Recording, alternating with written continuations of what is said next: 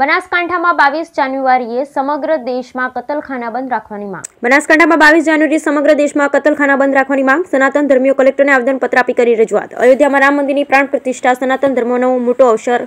અયોધ્યામાં પ્રાણ પ્રતિષ્ઠાને લઈ દેશમાં ક્યાંક જીવની હત્યા ન થાય તેવો અનુરોધ. બ્યુરો રિપોર્ટ ભરઠક કડી. આગામી આવનારી બાવીસ તારીખના દિવસે આપણા હિન્દુ સનાતન ધર્મની અંદર બહુ બહુ મોટો પ્રસંગ એટલે કે ભગવાન શ્રી રામની જ્યારે પ્રાણ પ્રતિષ્ઠા થઈ રહી છે આજે અહીંયા પાલનપુર મુકામે કલેક્ટર કચેરીમાં એવું આવેદનપત્ર આપવામાં આવ્યું હતું કે એ દિવસે દરેકે દરેક સમાજના લોકો, દરેક જ્ઞાતિના લોકો સ્વેચ્છાએ પોતાના મોહલ્લો છે, સિટી છે, શહેર છે, ગામ છે, ત્યાં આગળ કોઈપણ મોસ મટન માટેનો ઉપયોગ ના થાય અને એ દિવસે સ્વેચ્છાએ બધા કટલખાના બંધ રહે એની અહીંયા આવેદનપત્ર આપેલું હતું.